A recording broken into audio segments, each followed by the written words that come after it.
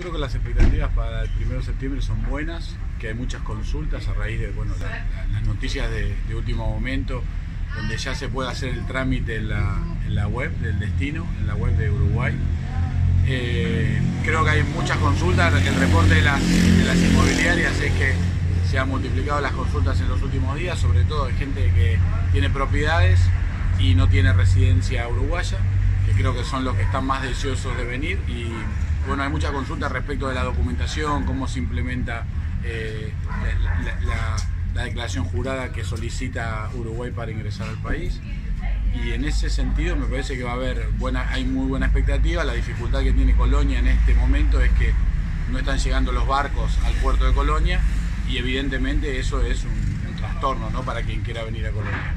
Tengo entendido que la, la empresa Colonia Express ya tiene autorizadas por Uruguay tres frecuencias semanales pero que está haciendo los trámites en Argentina, especialmente en seguridad sanitaria de fronteras, que son algunas instituciones que puso Argentina para hacer el contralor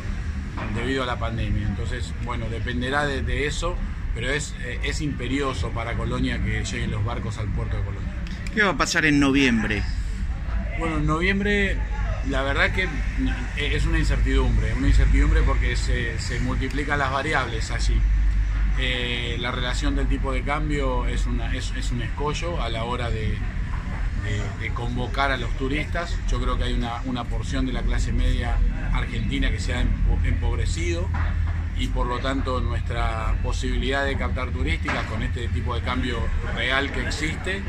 que es debido a la devaluación argentina, básicamente, más allá de que Uruguay podrá, podrá implementar y creo que debe hacer, implementar todas las condiciones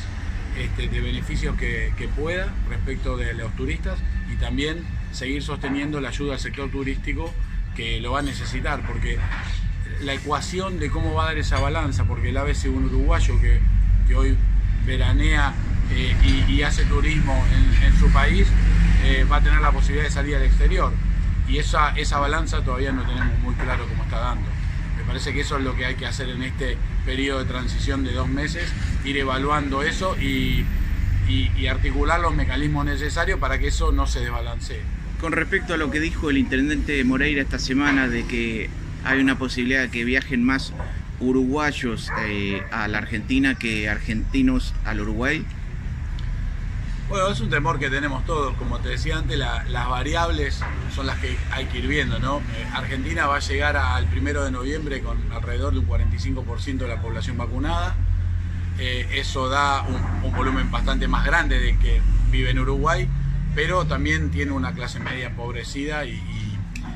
bueno, vemos que los precios relativos de las cosas son eh, onerosos para, para, el turista argentino. Por lo tanto, esa ecuación no la tenemos clara. Yo tengo no digo, eh, no, digo temor, pero me parece que nos tenemos que tomar estos dos meses para evaluar la situación, para proponer que Uruguay eh, dé los mayores beneficios a los turistas extranjeros, que van a ser turistas de cercanía, argentinos y brasileños básicamente. El turismo de cercanía va a ser lo que primero ocurra y además en, cantidad de volumen seguramente son los que mayores cantidad de personas convoquen. Y, además vamos a tener que seguir sosteniendo las ayudas eh, que viene haciendo el gobierno al sector privado porque no creo que radicalmente cambie la, ecuación turística. Me parece que tenemos que ser cautos y tenemos que trabajar al respecto, ir midiendo las variables en estos dos meses, cuáles son, cómo se ajustan y brindar la mejor ecuación posible para los operadores turísticos del Uruguay y también para el turista que nos visita.